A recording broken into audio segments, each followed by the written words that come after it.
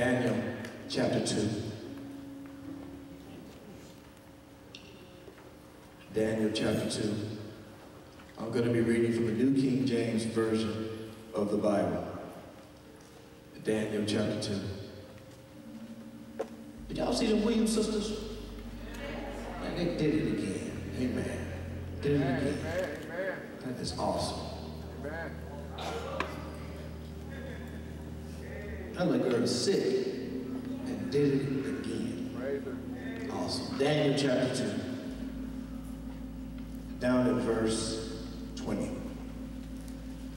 Daniel chapter 2, down at verse 20. Daniel answered and said, Blessed be the name of God, forever and ever. For wisdom and might are his, and he changes the times and the seasons. He removes kings and raises up kings. He gives wisdom to the wise and knowledge to those who have understanding. He reveals deep and secret things. He knows what is in the darkness, and light dwells with him. I thank you, and I praise you, O God of my fathers. You have given me wisdom and might. You have now made known to me what we asked of you. For you have made known to us the king's demand. Please be seated. But as you're taking this seat,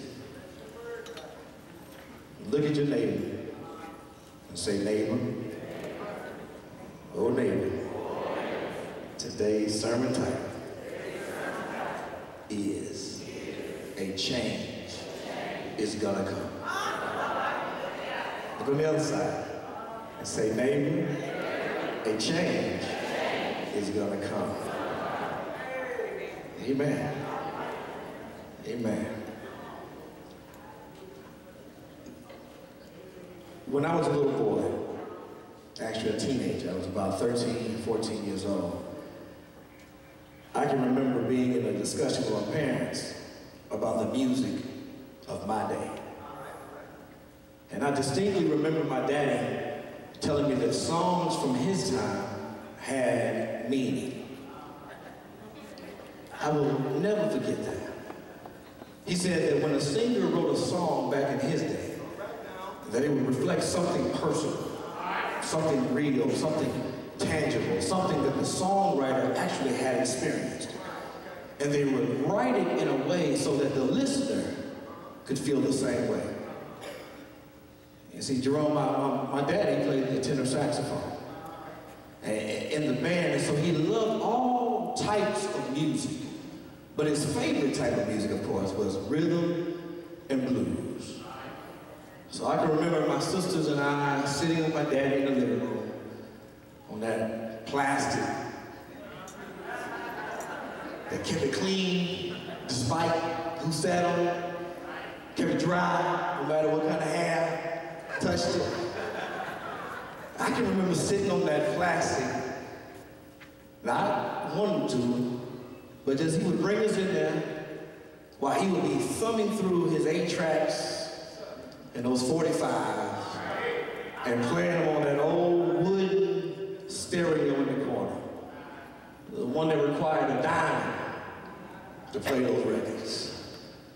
I remember that. I, I remember that. I remember that he would, he would play a little bit of the Drifters. He would run a little bit of the Temptations. I can remember hearing the Four Tops, Percy Sledge, James Brown, Otis Redding, Smokey Robinson. Uh, the list went on and on, and, and, just to keep my mama happy, he would play a little bit of the Supremes or even some Marvin Gaye. You understand? You understand? He said the songs from his time had meaning. They meant something. Songs from his time had meaning. So I, I, I, I was remembering this one day as I put pen to pad, and I thought about one of his favorite songs. And I decided to challenge his theory. So I wanted to look it up and see what this song meant. And so I discovered this about his favorite song.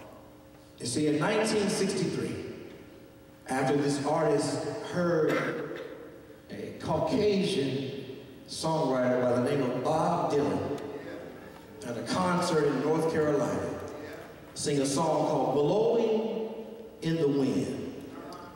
A young man by the name of Sam Cooke left that concert, went across the way, and he sat down with a group of white civil rights activists and some college students that were preparing to have a rally. And noticing this, he, he sat there for hours talking to them and helping them plan a rally. Sam Cooke got up in that conversation and he headed towards his tour bus because he had just noticed that there were white people more involved in the civil rights movement than himself. He went inside of his tour bus and he wrote the lyrics to a song called A Change is Gonna Come. This is one of my daddy's favorite songs. You see, the, the song not only spoke of the racism that existed during the early 60s, but it also reflected the inner turmoil that Sam Cooke had dealt with. That first turmoil being the death of his 18-month-old son from an accidental drowning. And the second turmoil being the, the fact that just when he thought that he was over his son's death, and he was ready to go back to work, and he was ready to start touring again, him and his, his, his band, they stopped in Louisiana. They tried to check into a hotel. They didn't realize it was a whites-only motel, and they got arrested. This was too much for a young man to deal with. And so during this time, so he begged for change. And so if you listen, if you actually sat and listened to this song, you can hear it in the lyrics. Both of these incidents can be found sprinkled throughout the song. Listen, I, I was born by the river in a little tent. And oh, just like that river, I've been running ever since.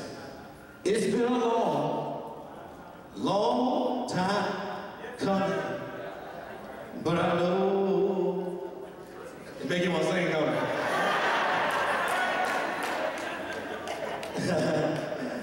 it's been hard, it's been too hard living, but I'm afraid to die. Because I don't know what's up there beyond the sky. It's been a long, long time coming, but I know a change gonna come. Now I go to the movie and I go downtown, but somebody keep telling me, don't hang around. It's been a long, long time coming, but I know a change gonna come. Then I go to my brother and I say, brother, help me please. But somehow he winds up knocking me back down on my knees. Oh, there have been times that I thought I wouldn't last for long. But now I think I'm able to carry on. And he finished off and said, it's been a long, go ahead, I know y'all want to, long time coming. But I know change gonna come. Oh, are y'all gonna help me this morning? All right. I can tell you something though. That the change that Sam Cooke was singing about, it still rings true today. That there, there's somebody in here, you're, you're looking for change in your life. You're looking for deliverance in your life. You're looking for resolve in your life. A, a pure change, a, a real change, a change that can only come from the hand of God. And I just pray, I just pray that someone, some, somewhere that you, that you hear that change, that you hear from God to this text today. Because change is going to come. Have I got your attention yet? Yeah? Can I give you some Bible? The key figure in the writer of this text is Daniel. This is one of the last of the prophetical words penned in the Old Testament. It's an unusual book because it is written mostly in the Hebrew. However, the first few chapters are written in Aramaic. By the time of this writing, Judah and King Jehoiakim have been conquered by Babylon. King Nebuchadnezzar has decreed that the temple should be destroyed and the, and the gold should be removed from Jerusalem and relocated down in Shinar. And the gifted young men should be repatriated back to where they came from. In other words, they should be sent back to their country that they were born in, to their country of their original citizenship. Israel is under siege of a government that is foreign. They had to learn a new language, the language of the Chaldean people.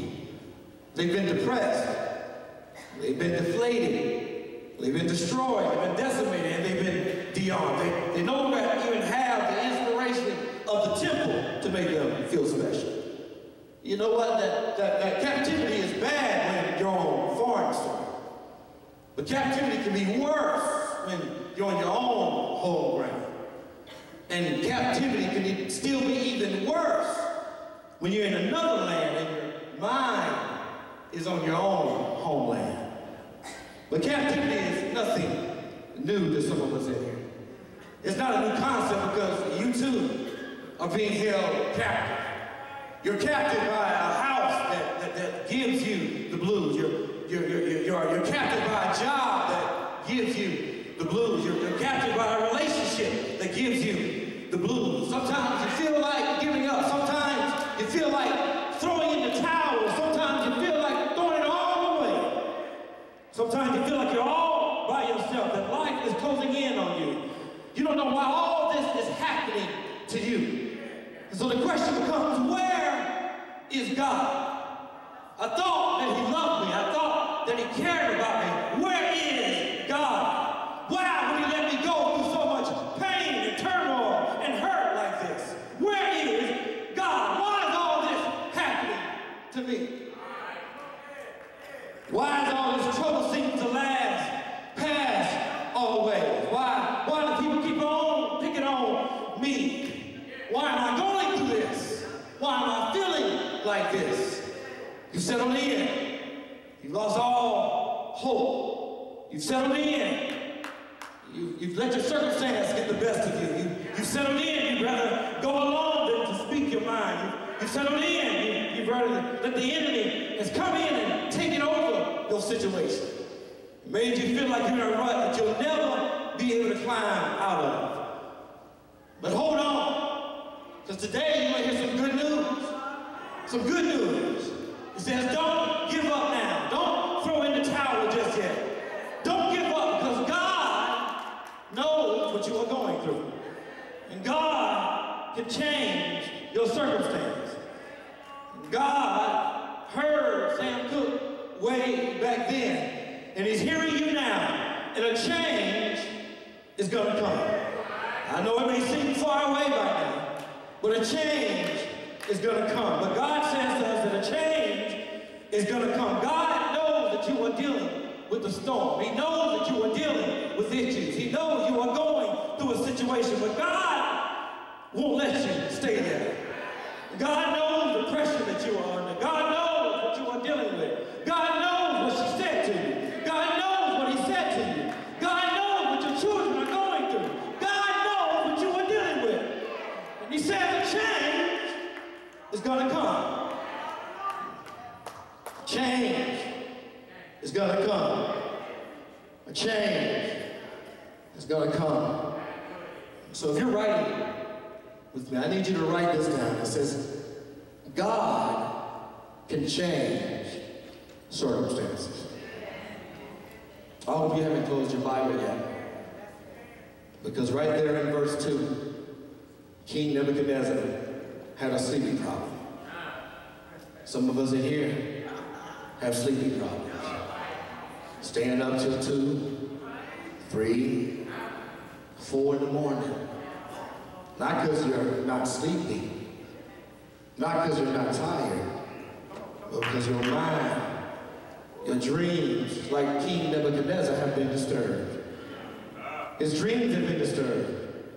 And he wants answers to what is going on and why he can't sleep at night.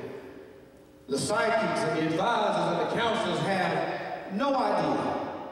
And in his rage, he threatens to even kill those Hebrew refugees. Daniel, Shadrach, Meshach, and Abednego. Some of which, some refugees of which their names had been changed. Because Shadrach's real name was Hananiah. Meshach's real name was Mishael. And Abednego's real name was Azariah. Some of us can relate to this because our circumstances and our issues and our situations have changed our names. It used to be called happy. It used to be called sweet. It used to be called nice. It used to be called faithful. It used to be called giving. It used to be called baby. It used to be called honey dip. It used to be called sugar. It used to be called husband. It used to be called wife. It used to be called employed. It used to be called rich. But there's some circumstances that have come in and changed your name. They, they, they,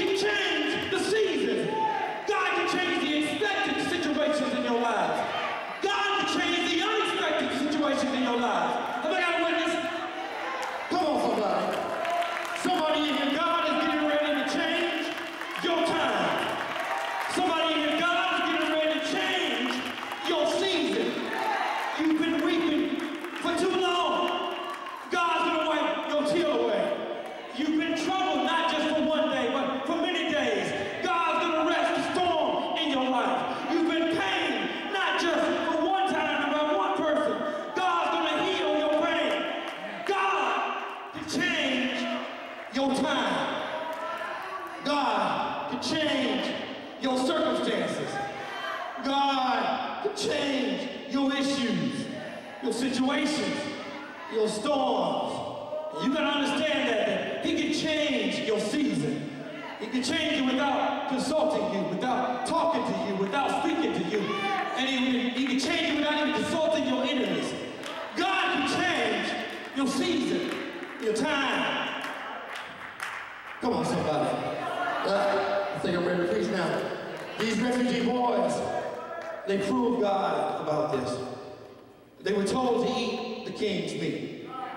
So instead of eating the king's meat, they became vegetarians. Well, the Bible says they, they looked full in the face and in the body. Somebody here needs to know that. you don't have to, you have to worry about having just a little bit. Because, because, because God is on your side. You, you, you can look good even with a little bit. Come on, somebody else. Even with a little bit of clothing and a few dresses and a few suits, you can still look good. Come on, somebody. Even with a little house, you can still pretend like this. Imagine, I,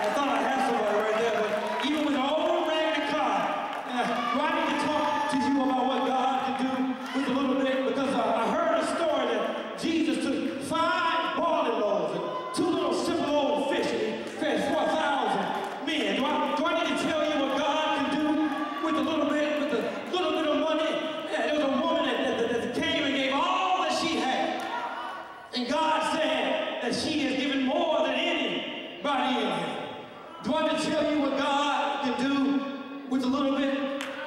He can change those circumstances, your issue, your situation. Anybody ready for change? Come on, somebody. Look at your neighbor and say, God can change my circumstances. Oh, but number two. Number two.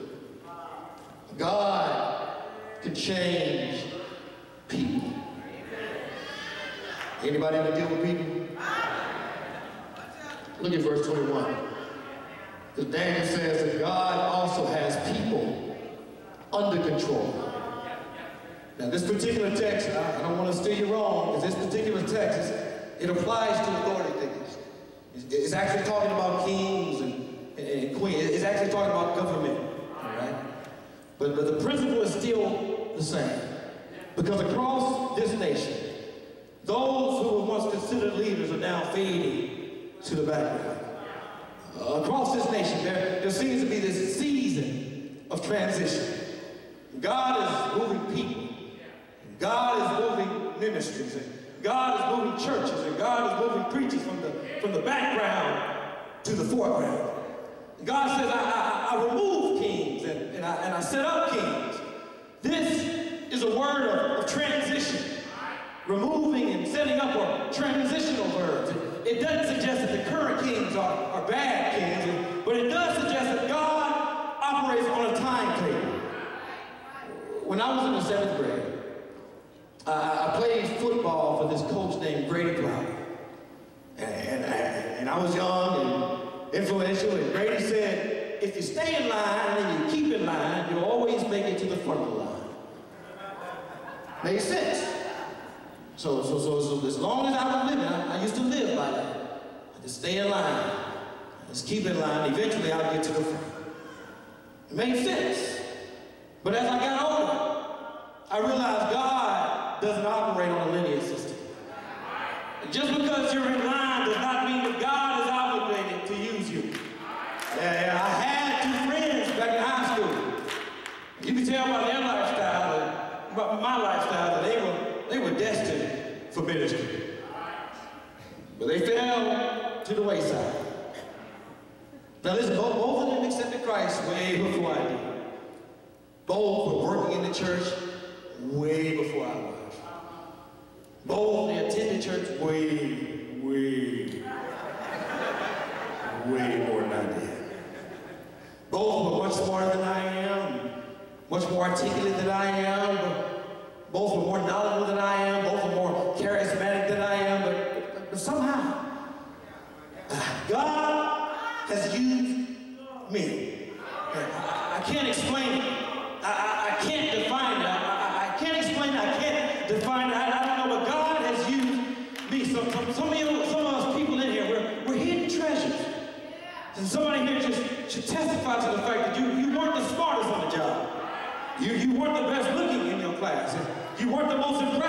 the interview. You, you weren't the most credit worthy down there at the bank. You, you, you were the one with the, with the kids, the, the house note, the, the, the car payment, and, and nobody but yourself to count on. But, but, but can I tell you something? Thanks be to God. Uh, he, he changes people.